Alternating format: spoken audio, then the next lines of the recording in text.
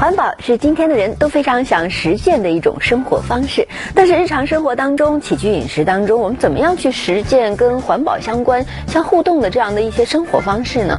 今天呢，我们请来何慧霞小姐跟我们一起分享一些最新的环保设计，看看环保的概念之下，我们的生活怎么样可以有滋味、有品质。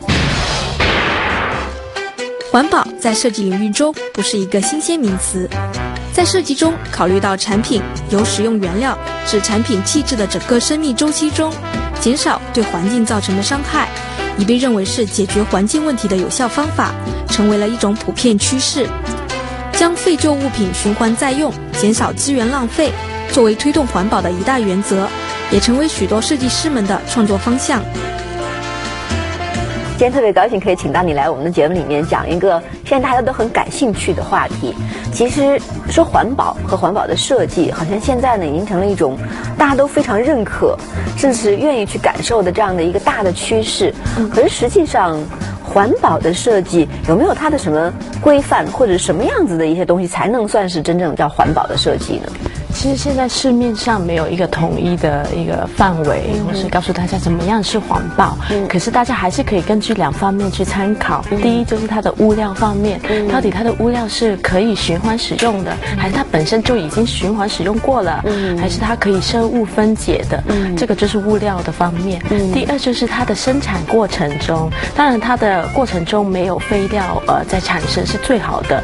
还有就是它的呃用所用的一些电力是不是一些。绿色的能源，例如太阳能啊，或是水力、风力发电这样子。其实这个范围还是蛮那种，就普通人的生活里面接触，还是不一定能够去了解的那么清晰的啊。所以就是要靠大家，就是或是传媒，还是我们去告诉大家更多这上这方面的知识。嗯，其实如果说环保的设计，在今天我们比较多的使用范畴里面呢，嗯，哪一些？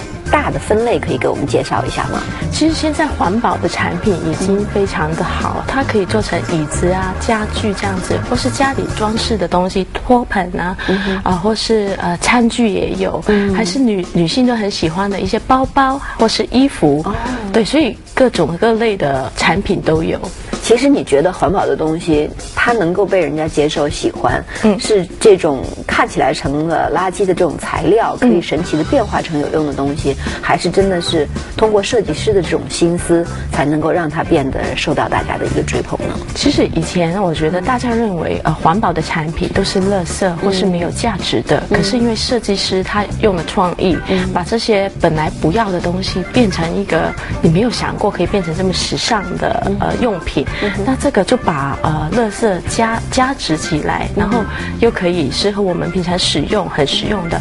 那所以现在就是啊，慢慢这个环保的产品就变成大家都很喜欢。环保的设计不代表要牺牲格调，反而意味着要加入更多的创意思维。废旧的物品可以成为创作的原材料，以全新面貌展开意想不到的二次生命。废弃的糖果纸。和汽水拉罐能制成怀旧的手袋，用过的玻璃瓶能回炉烧制成新的家居用品，黑胶唱片可以压制成水果托盘。这张以塑胶废料制成的椅子，更是取得了环保和创意之间的最佳平衡。很少在节目里面可以 拿着这么多东西，然后所以今天特别开心。其实看到你那个袋子的时候，特别像小的时候做的手工课。对，这个是用糖纸做的。对，这个是糖果的包装纸。其实因为我们糖果生产的时候，它呃印了很多，可是它很多已经没有用了，或是印错了，它本来就要丢掉。可是我们就是可以拿回来当做一些手工这样子编织成一个很漂亮的包包。嗯，这个除了糖纸之外，其实外面还有一层东西是吗？对，它外面加了一个环保的塑胶，所以它也是可以就是防水。哦，这个真的特别像小的时候的这个。手工手工课程哈，然后看起来就会很开心。那我手上还有一个这个，这个跟你刚才说到的一个什么汽水是有关系的。对，你给我们解释一下这个好玩的设计。哦，这个其实你仔细的看，你就可以看得出来，这个是拉环，汽水的拉环，就是所有那种易拉罐的那个拉环。对对对，嗯，那这个就是那个罐的底部。所以整个罐子其实就是可可以再使用，变成一个很漂亮的包包。那我这儿还有一个是是对香港来说非常熟悉的一个记忆。如果把那个镜头推的大一点，这个物料的这种这个效果质感呢，哈，大家都会觉得哦。这就是我们的出租车，现在已经变了。是，其实出租车它的座椅常常都要更换新的嘛。嗯。可是可是旧的其实它也没有特别的破烂。嗯。这个就是就是可以捡回来变成包包。我们现在都都带这个呃电脑出门嘛，对不对？这个可以装电脑。对，所以这是一个香港本地的一个环保的一个设计。是，哦，哎，其实你看做了这么多跟环保设计相关的这样子的，除了今天我们手上的这三件之外，让你印象特别深刻的，还有哪一些地方、哪一些设计师的作品给我们介绍一下？啊，我印象非常深刻，就是英国有个设计师叫做 Richard，Richard Lido，他就是到处去收集我们呃那些水瓶或是塑胶瓶，嗯，呃，收集之后他就有用一个控制的温度把它。溶解，嗯，再机器出来就变成一些条状的胶塑胶条，嗯，他就立刻把这些塑胶条编织成一张椅子。啊。对，它的过程当中，因为它只是利用那个塑胶本身的粘性，它立刻就把它粘起来了，所以它没有用到胶水或是其他的一些钉子去稳固这个椅子。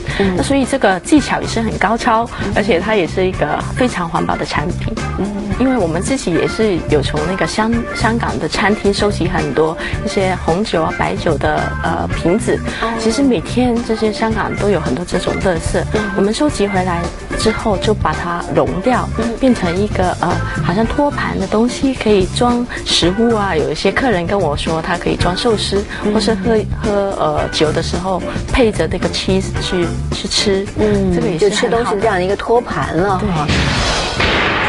早前的米兰家具展再一次确认，实用环保是未来设计的趋势。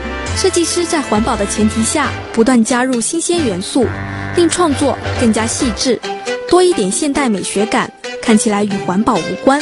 对比新材料，回收再利用，将旧物见证的过去与制作者的心思延续其中，具有更浓厚的人情味。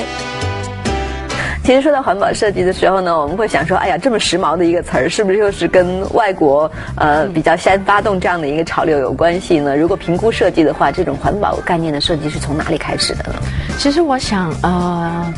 中国人本身就是有这个这个呃个性嘛，就是很勤俭持家，是吗？没错。其实中国本身就是也有，只是美国或是欧洲，它呃发起这个设计比较就是比较快。嗯。本身呃中国人他比较只他只是自己有这个习惯，他没有去告诉人家。嗯哼。可是外国的话，他就是呃收从收集物料开始，然后加上创意的设计，然后他们有这个平台去告诉大。家告诉全世界，他们有这这样子的作品，所以我其实我觉得全世界的人其实都有这个这个个性，只是怎么样去告诉别人而已啊，怎么样跟别人分享自己在生活方面的一些想法跟愿望的东西。这个中国人显得比较谦虚和内涵多了一点。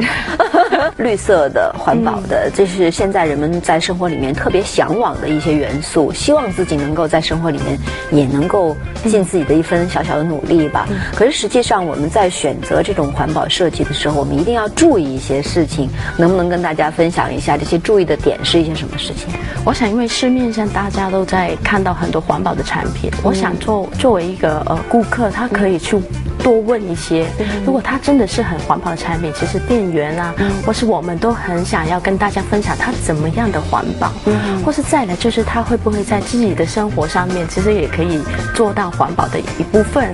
例如他可能家里很多呃报纸或是不要的杂志，他也是可以利用这些杂志，可能变成一个呃杯垫，或是变成一个艺术品也是可以。呃，或是呃不一定用到这些创意，他每天的生活习惯里面可能。洗澡的时候，呃，就是洗快一点，这样子每天洗洗少一分钟，这样子也可以，呃，做到环保的这一部分。